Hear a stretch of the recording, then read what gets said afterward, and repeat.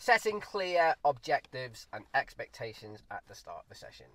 In today's video, we're going to discuss how I set up my lessons, my private lessons, in terms of what success may look like and the expectations of the players. And uh, I've been exploring some of this over the past couple of weeks and months now, uh, thanks to a coach called Mark Bennett, and he has a performance development system, PDS system, and he talks a lot about having a lighthouse and what the player wants, what the player needs to reach their goals, to reach their lighthouse. So shout out to Mark, check him out on Instagram, and definitely Google PDS system.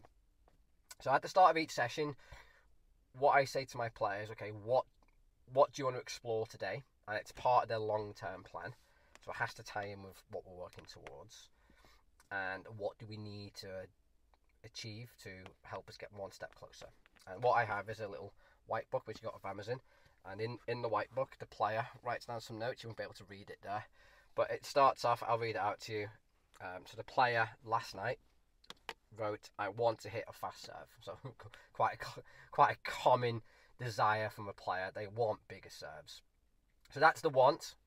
So the what the player wants to have a bigger serve, and again, this is part of their long term thing because they want to be a competitive tennis player, so they need a weapon with the serve. So it ties into the long term play development.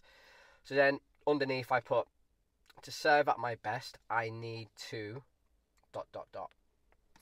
And then we talk about what the player needs to do in terms of behaviours because behaviours drive performance.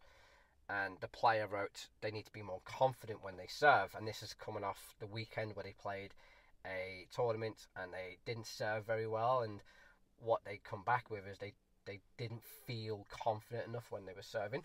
So she's put she wants to feel confident when serve. Okay, and then what I then break that down into three little points. Okay, what does confident feel like? What does it sound like? And what does it look like? And they're the three things that we're going to work on in the session. They're the three behaviours. And the player put it sounds like positive talking. So before the player serves, she's going to speak positively. She's not going to try and speak negatively, like I can't. She's going to try and use I can rather than I can't, and you can do this, not you can't do this. So, a lot of self talk, a lot of positive thinking. Then we talked about okay, what does it look like? And she put making the racket move quicker. So she discussed at the weekend that she felt she was slowing the racket down because she was scared of missing. And we now associate that with a lack of confidence. So she then has said, okay, well, on the on the flip side, then if I speed the racket up, then that should look like I've got confidence. So I thought that was really good. And the last one, she's going to be hundred percent sure she can make it.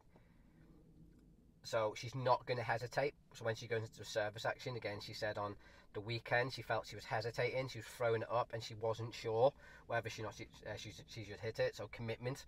So she's going to commit 100% to the serves. And that's what we set out at, at the start of the session. And this little whiteboard's absolutely brilliant. I can wipe off and use it with all different players as well. And then, despite the practices or the drills or the games that I do with the player, all we talk about is those three things. What does it look, feel, and sound like?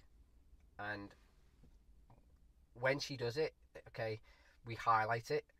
And if we and my job there is I watch her behaviour, and if, if I notice that she's slowing the racket down, if I notice or hear any negative talk, or if I notice that there's a slight hesitation, then I might flag it up and say, okay, is that in line with your behaviours that we set out? And then I just get her to reset. But also, if she does something like if she speeds the racket up, or if I hear positive, I go, okay, that's that, that that's really good. Let's do a little bit more of that. And through the whole course of the session, that's all we talk about. Those three things, those behaviours. And what I've found since I've been doing this is the players are so much more comfortable because those three things she can control. She can control those three things. She's got she's got the ability to manipulate or or develop those behaviors. It's nothing outside of her control.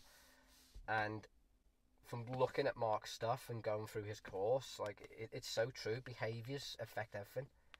Behaviors drive performance, and performance. I think Mark says it. Performance is not an outcome. It's it's it's a mindset. It's a behavior. And I, I've been doing that with my players recently, and and it works really well. and it takes a bit of time to get it set up because when I first started doing it, again, a lot of it was stock answers, players just telling me technical stuff that they need to do better, I need to work on my grip, I need to do X, Y, and Z. But after a few weeks and now a couple of months, the players are starting to think more about behaviours, which is which which is great. Uh, before that might have been useful as a as a little Sunday tip and video for you. Um, as always, check out mytenniscoaching.com. Head over to my tennis coach academy, uh, and if you want to sort of see me coach full sessions with these players, use this approach. Uh, lots of videos in the academy on that as well. Enjoy the rest of your weekend, and I'll see you soon.